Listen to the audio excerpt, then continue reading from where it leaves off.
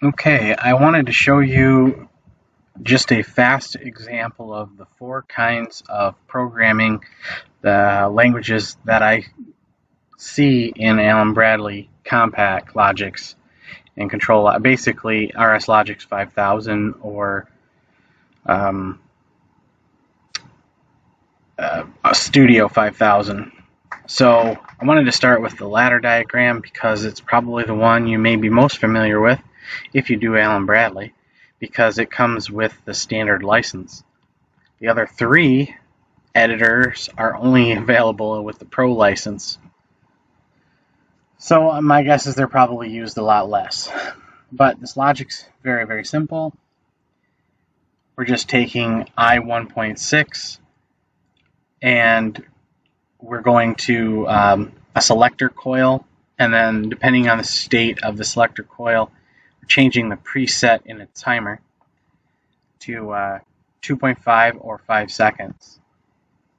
So you can see uh, the timer enable is on a different input, 1.2, and the timer runs until it's done. Then there's a reset, which basically just resets it. So we can kill the timer by turning off the timer enable, or we can, and I have these inputs, uh, these are internal coils, they're not matched to the actual inputs, so I can toggle them. I don't have, I'm not using forces to do it, they're just unhooked from the actual inputs. And then I can change the, the selector and you can see the preset changing. Okay, so the, these are this is not Rockwell saying here are the conversions between function block and ladder diagram. Okay, these are my approximations. So they're not identical. So don't take this as a lesson in converting logic. Okay, I'm very kind of rudimentary at these other types as well. But here's an example of function block in this case, because we're just doing two states selector wise, there is an SEL select um, bit. All right, and what I've chosen to do, I'm moving I1.6 to selector 1, which is just a tag, and then selector 1 is going to selector in. And then I have my two different inputs, 2500 and 5000, into in1 and in2.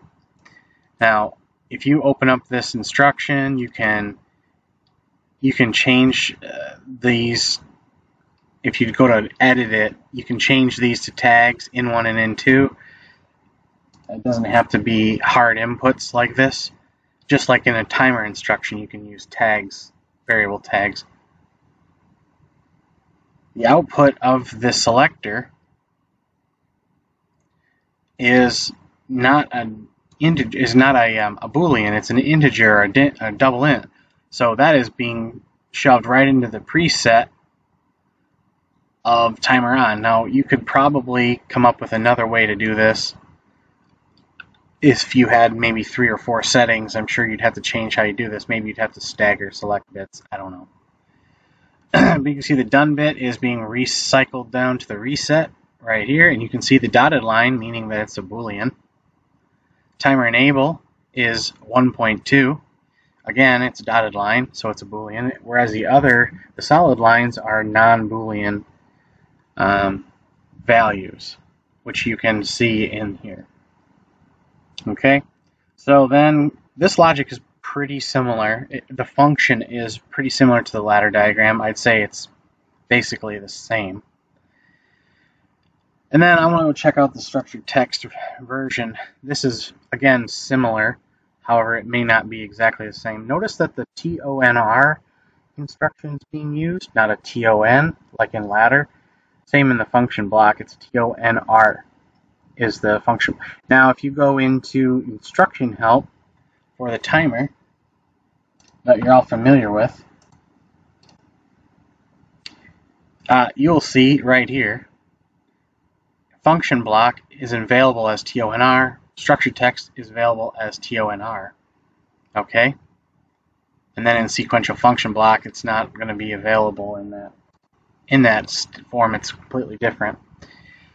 So you can see here I'm doing another selector. Selector 3 is equal to I1.6 and then timer 3 dot timer enable equal 1 uh, I1.2.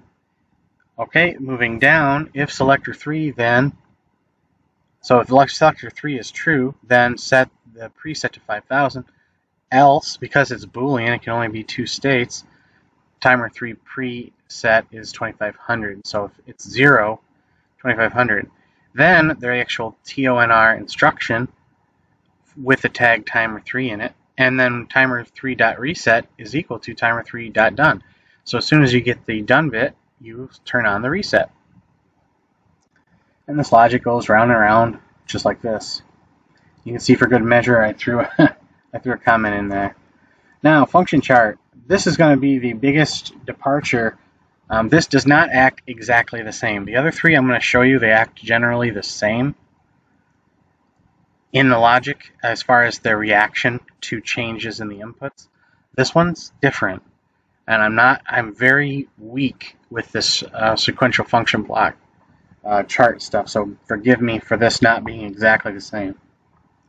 But you have a step instruction, and in that step we set selector 4, another Boolean, equal to I1.6, okay? So in that step, we do that. And if you open up these steps, you'll see that they have um, they have timers in them, basically saying how long should this step take, because you can you can set a bit and then you can wait if you want, or you can you can build a delay into the step. And you can see the count is incrementing every time that this thing runs, it's counting. And when I was messing with presets and timers things, you can see I had a max timer value. But right now there's no preset. There's a 0 millisecond preset and a 1 millisecond on the timer, which is saying how long it takes to actually run. And if you hover over it, you can see that they have tag names, step 001.pre, step 001.t right? Tmax. So you can get a lot of data. This is a UDT. If you were to take step one, it's uh, it's called an. let's find out what it's called. Uh, is an F an SFC step. Sequential function chart step. Okay. So in that step, I have added an action which if I were to go edit this, if you select a step, you can you can see these actions up here, Boolean action or action. I think I did a I think I did an action, even though I'm setting technically a Boolean. So then we go down to a transition. Now I have a split because I have if I 1.2. So the transition says wait until the data in the body is true. So here's the body. I 1.2 being true and not selector 4 will go down this path. Alright? Which this step is set up with a 2500 preset and a 2500 timer. I don't know exactly if the timer needs to be at 2500, but it is.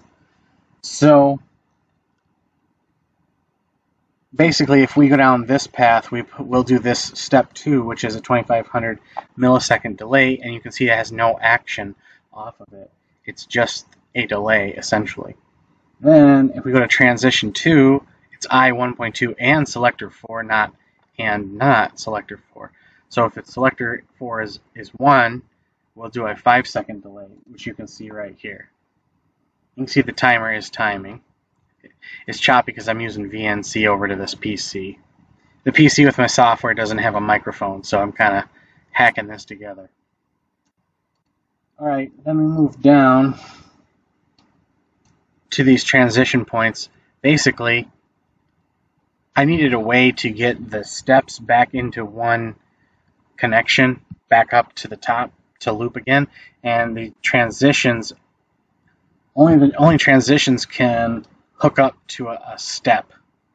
And steps can't, well, steps may be able to go to other steps, but transitions can't go to other transitions on the bottom side, and you can't take two steps and combine them into one, into a new step. So I use these transitions, which is just step two dot done and step three dot done. Okay.